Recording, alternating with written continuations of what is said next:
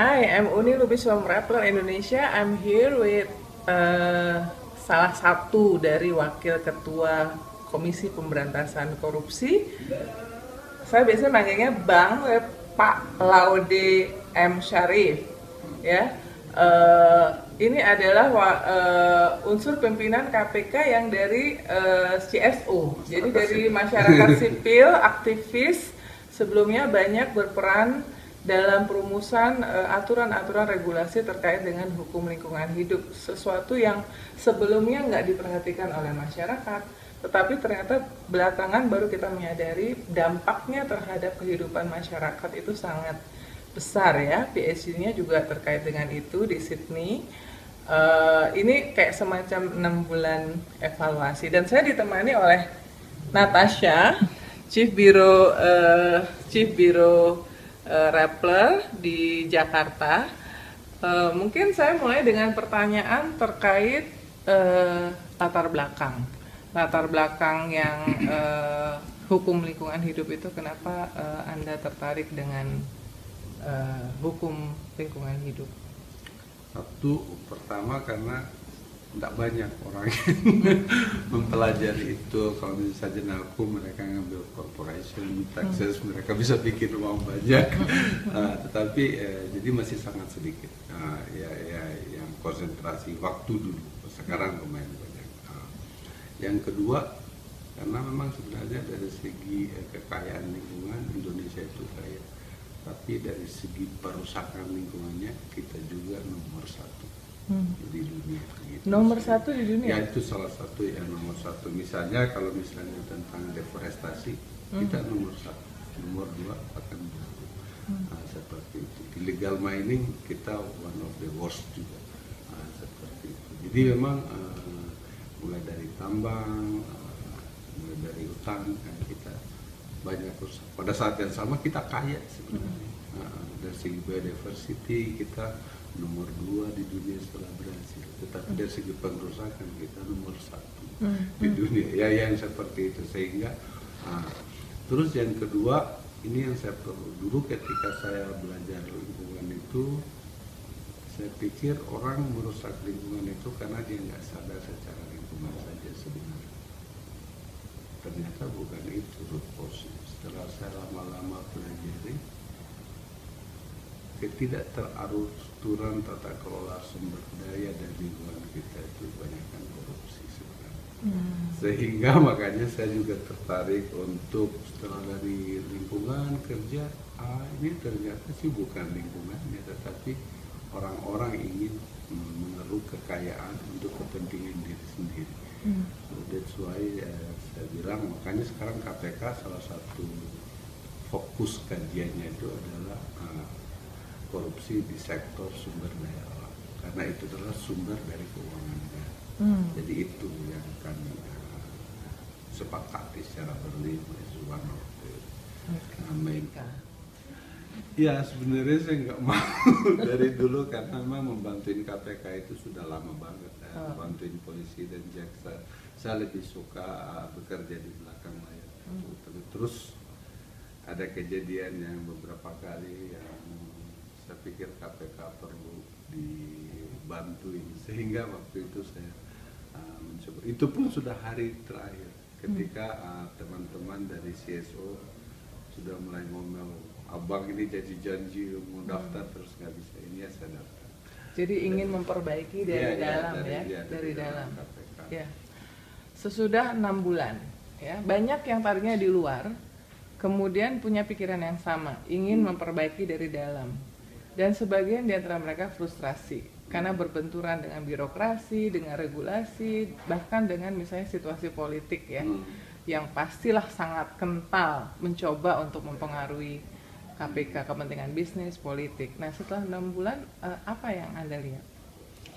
Sebenarnya setelah enam bulan itu saya pikir kami berlima lumayan solid. Saya pikir kami berlima itu solid. Satu bahwa dulu kalau kita mau nanda tangan uh, surat-surat itu lewat dari ruangan masing-masing. Sekarang kami kerja di ruangan kerja bersama. Hmm. Uh, biasanya di ruangannya Pak Agus atau di ruang Pak itu so you don't see any papers with minutes.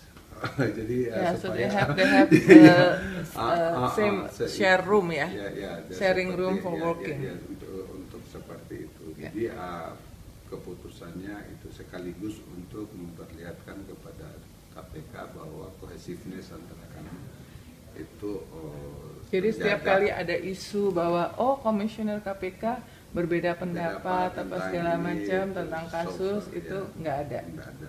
Ah, mungkin nanti, eh, itu kan eh, kalau kita mau perbedaan antara kasusnya itu kan soal kekuatan tidaknya, tapi kita selalu diskusikan bersama, nggak pernah lewat pintu yang berbeda-beda sehingga selalu putusannya itu sampai hari ini kami sepakat berlima Hmm. tentang apa saja. Hmm. Ah, belum ada misalnya mau dissenting opinion bahwa itu dibolehkan. Hmm. Nggak, Hmm. kalau misalnya nah itu Ah, yang kedua yang kita ingin lakukan itu adalah soal eh, mengintegrasikan antara pencegahan dan penindakan. Hmm. Nah, dulu kan kami diributin katanya ah pasti ini hanya mereka ini komisi pencegahan korupsi nggak akan Iya, melakukan penindakan. Saya pikir itu salah Eh, karena kami melakukan penindakan lumayan banyak termasuk mewarisi yang 40-an kasus yang sebelumnya tidak jalan karena ada hubungan yang kurang baik Iya. dengan eh, PH yang lain waktu itu.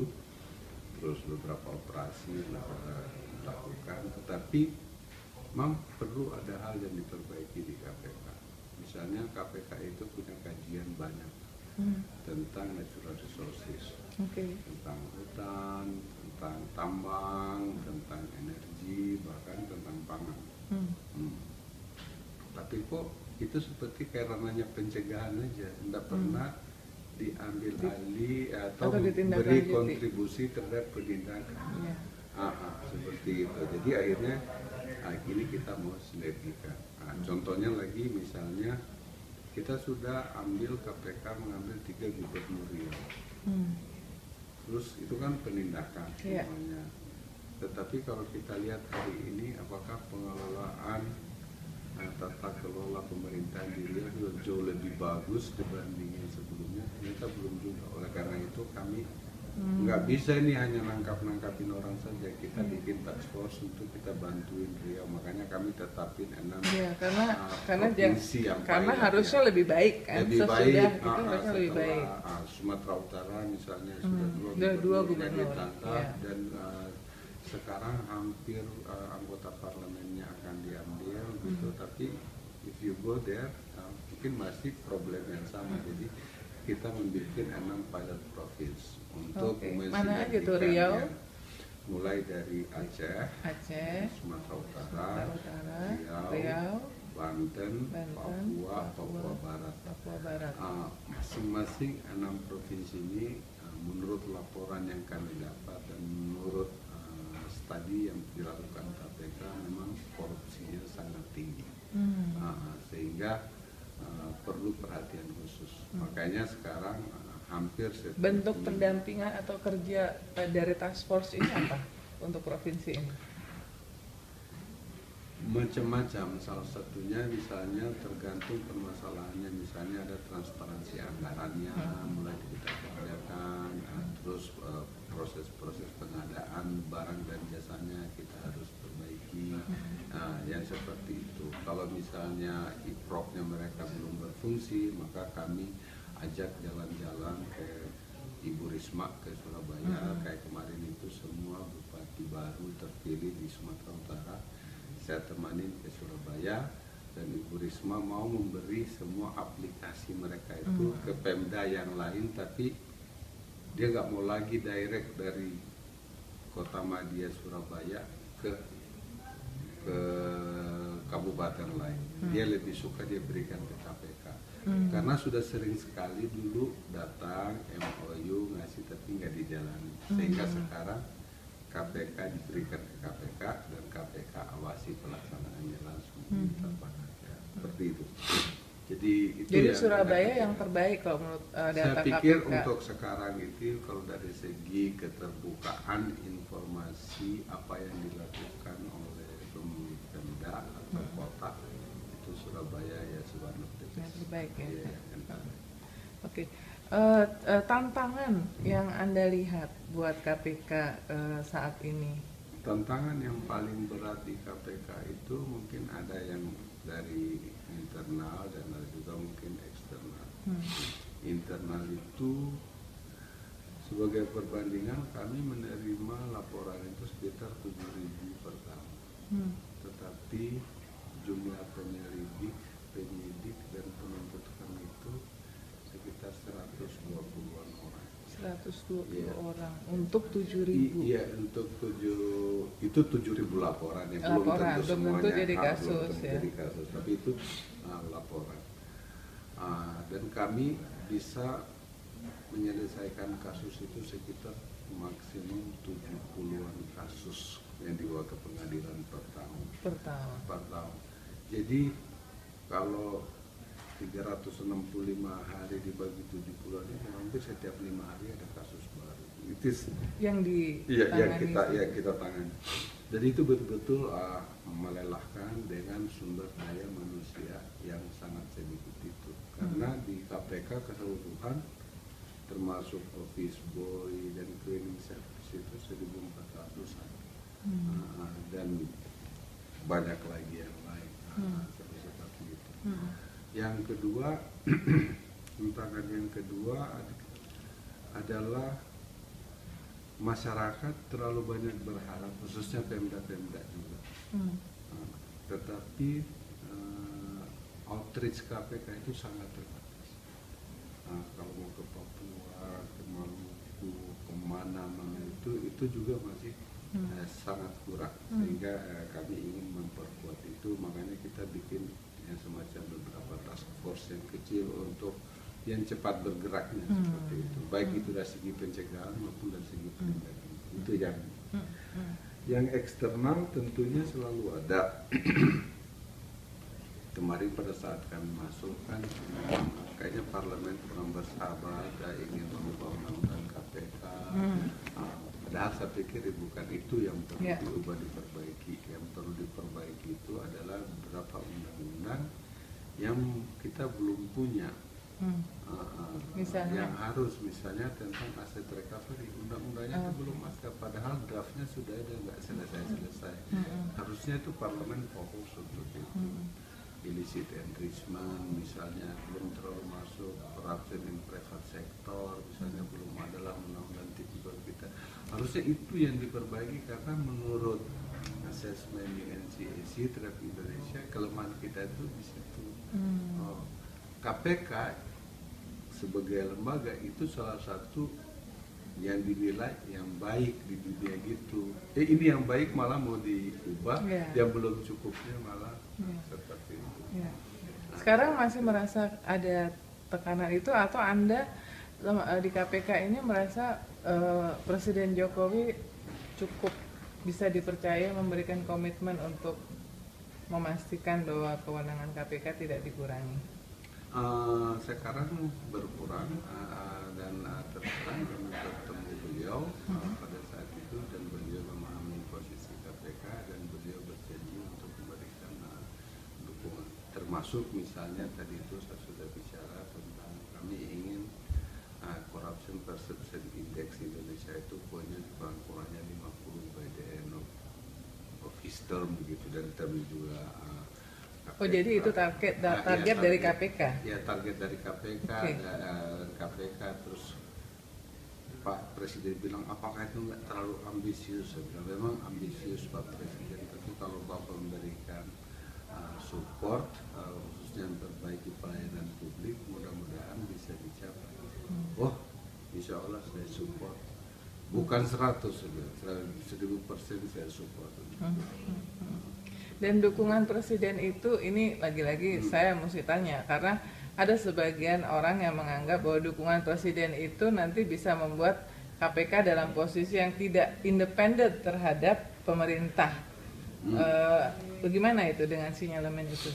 Saya pikir itu tidak ada hubungannya dengan itu bahkan ketika apa namanya ketika kita membicarakan soal uh, bagaimana pemberantasan dan penjagaan korupsi ke depan beliau sudah stated juga dari awal bahwa ini tidak ada hubungannya bahwa saya uh, ingin mempengaruhi KPK dan saya pikir juga kan itu yang akan menentukan kami juga kan. Hmm. Uh, uh, uh, masyarakat bisa menilai misalnya kasus-kasus yang ditangani KPK itu oh, apakah afiliasi partai politiknya menjadi bermasalah? Misalnya anggota DPR yang kami tangkap sekarang itu hampir semua politikal partai karena ah, kami nggak milih-milih dari mana dia politikal Yeah. partainya selama ya kami profesional aja dan sampai sekarang kami eh, masih berupaya untuk bisa eh, berjati.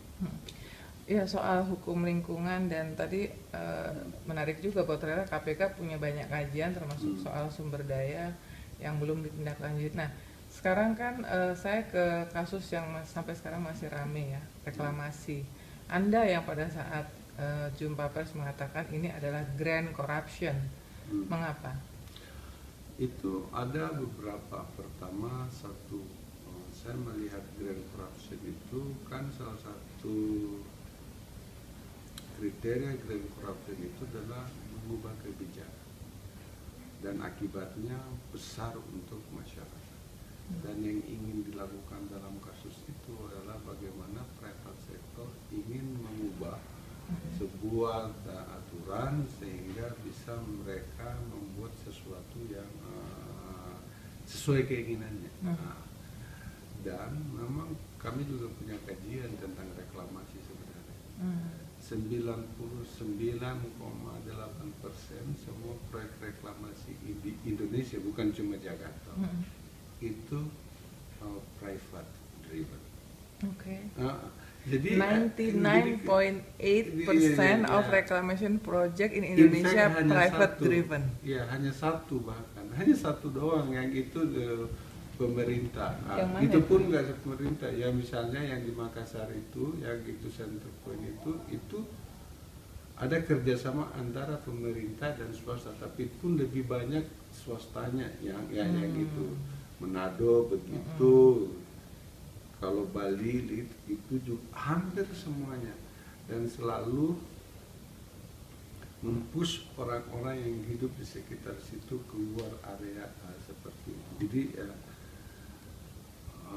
pada waktu kami lihat saya pikir ini ah, hanya hitungan-hitungan ekonomi saja. Hmm. Ternyata itu terbukti ya, reklamasi Jakarta itu bahkan Sampai ya, hari sampai ini penyelidikannya itu eh, selesai. terbukti yang eh, Terbukti. hipotesa Anda itu. Hipotesa satu bahwa memang sudah diuji di PT UN uh, bahwa itu tidak sesuai dengan undang-undang akhirnya dihentikan sementara melakukan presiden mengeluarkan moratorium untuk uh, jadi uh, itu memang itu salah satu contoh dari grand corruption makanya kami juga uh, sangat hati-hati dan sangat uh, prudent ingin uh, mempelajari kasus ini sedikit demi sedikit. Kasus kebakaran hutan itu kan pemerintah kalah ya, maksudnya negara kalah di tingkat pertama.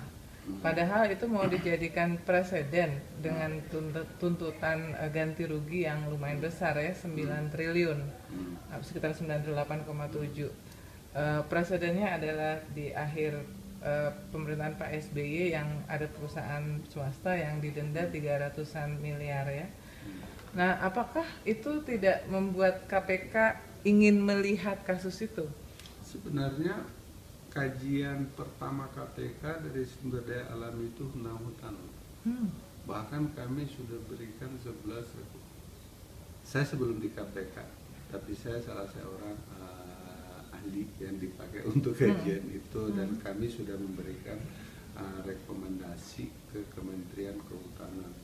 Uh, tapi eh, terus terang dari 11 rekomendasi yang diberikan itu belum dijalankan semua. Hmm. Salah satunya itu adalah transparansi izin. Hmm. Ah.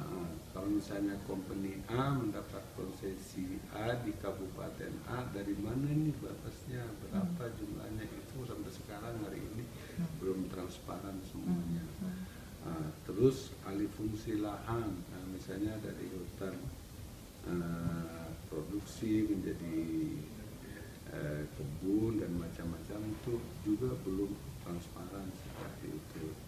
jadi kajiannya dalam uh, uh, terus yang berhubungan dengan kebakaran hutan memang kita juga curiga bahwa banyak yang melakukan pembiaran kebakaran hutan karena memang dari dulu saya tuh uh, biasa pelajari kebakaran hutan dari kecil saya sekolah sampai saya selesai dan saya mengajar tentang kebakaran hutan. Nah, salah satunya Termasuk disertasinya? Iya, disertasi aku kebakaran hutan. Nah, salah satunya misalnya tentang PT Kalista. Ya, yang Nah, di Kalista Alam yang ya. di yang di Aceh itu, Iya. itu saya pikir presiden yang bagus. Tapi terus terang juga saya agak kecewa dengan Kementerian Kehutanan Hmm. uh, dan lingkungan ketika menggugat yang disebut tadi itu Hmm. itu mereka itu masih pakai KUH perdata loh perbuatan Hmm. melawan hukum gitu Hmm. Uh, bukan tidak memakai undang-undang lingkungan dan undang-undang kehutanan yang strict liability jadi saya bilang uh, terus terang akhirnya setelah kalah dirjennya itu datang ke sini Pak Rasio Roy. Iya, iya. Dirjen Pak Gakumnya. Dirjennya, ah, dan aku mohon di ini, mohon dibantuin. Ah, ya, kita saya bilang gitu. Tetap pada saat yang sama, saya melihat seperti kok ada kesengajaan kenapa ini harus digugat dengan yang dilanggar undang-undang lingkungan dan undang-undang kota kok digugat berdasarkan kesalahan perbuatan melawan seperti itu. Jadi ah, sekarang ada asisten ah, dan kami ah, bahkan sedang kerja dengan mereka tentang hal itu. Oh, oke. Tetapi ya Oke. tentang kajian dan itu kami melihat juga beberapa hal bahkan ah, ada hal yang tadi saya nggak bisa ceritakan.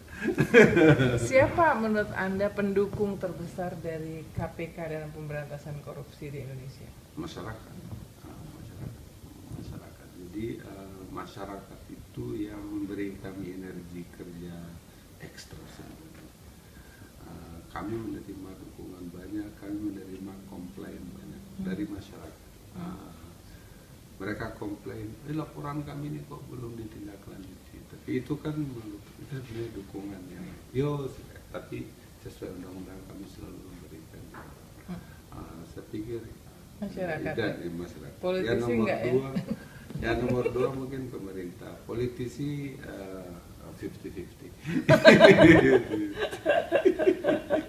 Oke, eh, bagaimana dengan di media sosial? Bagaimana Anda melihat peran dari aktivitas eh, apa gerakan di media sosial da- terkait dengan semangat pemberantasan korupsi?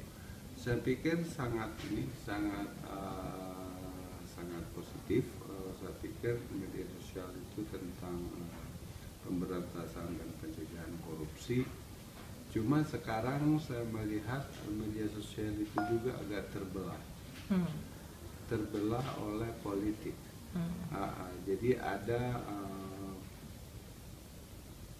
hal-hal yang seharusnya eh, dilihat secara objektif, misalnya tentang kasus tertentu, apa buktinya dan macam-macamnya. Tapi sekarang itu ada like dan dislike, ada pro dan hater, ada lover dan hater seperti itu sehingga membuat polarisasi eh, dan itu sayangnya Dan eh, kadang-kadang- mendapatkan tempat yang sangat banyak Iya, ah, ah, ah, iya. oleh oleh itu sehingga ah, tapi Maksud Ah, Anda eh, misalnya peran dari akun anonim gitu? ya ya ah, ah, ah, Peran ya, akun seperti anonim. akun anonim seperti itu. Dipercaya oleh Dipercaya sebagian dari netizen, orang, ya. netizen seperti itu dan ah, akhirnya ah, membuat ya jadi bias gitu Hmm, Ya, ah, tetapi tetap saja hardcore pendukung KPK itu yang akun beneran yang betul-betul ini alhamdulillah masih sangat bagus. Dan kami eh, makanya kami juga Anda lumayan aktif berapa satu kali atau dua kali sehari nge-tweet? Hmm, nggak ada sih kadang sekali kadang dua Sekali. kali kadang tiga kali kadang saya retweet orang punya yang saya suka Iya, iya, iya, iya. Ya, itu dah, itu. Oke, jadi itu akun resmi ya, akun Eh, resmi pribadi. ya, Maksudnya akun beneran ya, Ya, bukan ya, akun ya. yang dibuat oleh orang lain. Ah, sebenarnya itu eh, saya dinasihati untuk menutup aja Oh, Ah, ya? ah, ah, ah. terus eh, saya kan dulu punya Facebook, akhirnya saya tutup um, for security reason uh, Oke. seperti itu karena saya lihat banyak foto anak-anak saya di, Hmm. di, di sama orang lain, jadi saya uh, close down. Ya, bikin aktivis in the past gitu kan, terus Iya, iya. terus harus tutup ini juga. uh, ya biar aja biar saya tahu apa sih yang dibicarain Iya, orang jadi di luar, tinggal jadi sebagai, ya, so, uh, social media account tinggal Twitter aja Iya, tinggal. to monitor ya, Ya, untuk monitor apa uh, apa yang jadi lagi tren, apa yang uh, ada dan saya menikmati tidak terlalu rame punya saya jadi, jadi saya lebih senang yang sedikit gitu followan. Habis itu kita promo we have to promo. ya kan uh, mungkin ada masyarakat jadi bisa melapor juga kepada uh, Nah, Anda kita punya KPK, eh, Iya. eh, kita sih sebenarnya kan punya uh, KPK. ada KPK, Iya. uh, ada KPK, ada Anti Corruption Clearing House, Iya. uh, ada Dumas, eh, pengaduan masyarakat. Iya, Jadi iya. sebenarnya Jadi banyak direct, jadi, ya, iya, ah, iya. nggak usah lewat aku kalau mau melapor. Oke. Ah, ah, karena kalau mau melapor dengan saya, it has to go through formal process. Iya, sure. Oke, te- eh, terakhir, eh, jadi ngantornya dari jam 7 pagi sampai jam 9 malam. Biasanya jam 8 pagi sudah ada semua kami pulang itu setelah maghrib aja. Setelah ada maghrib. jam 8, Iya. ada jam 9, kadang sampai jam 10. Tapi Iya. banyak kan jam 9. Iya. Jam 9. Nah, kalau ini eh, di waktu luang eh, eh, apa yang dilakukan? Olahraga atau apa hobi? Oh, waktu luang eh, sudah agak susah eh, sekarang karena kalau saya pergi-pergi juga saya harus pakai topi. Harus Iya, ini tapi ya, saya anda, apa namanya Oh. disguise Iya. traveling. iya, saya seperti itu. Jadi jadi nggak agak ada susah. santai ya dong jadi komisioner KPK. Agak susah. Agak susah. susah. Keluarga gimana? Iya, karena saya sebenarnya masih punya anak. Hmm. Anak saya tiga orang itu anak kecil. Mereka itu dari kelas 3 SD yang twins, eh, terus adiknya kelas 2. Eh, jadi sebenarnya mereka agak eh, protes. Gitu. Agak protes Iya, ya. agak protes. Iya. Oke, terima kasih eh, Pak Laudin. Saya Uni Lubis dari Rappler Indonesia baru saja melakukan perbincangan yang menarik sekaligus update dari mewakili KPK juga ya. Jadi ini update kepada masyarakat apa yang selama enam bulan ini eh, dialami dan sudah ditangani oleh KPK. Ada beberapa terobosan yang menarik yang tadi sudah eh, Anda eh, dengar sendiri, Anda lihat sendiri. Terima kasih. Selamat siang.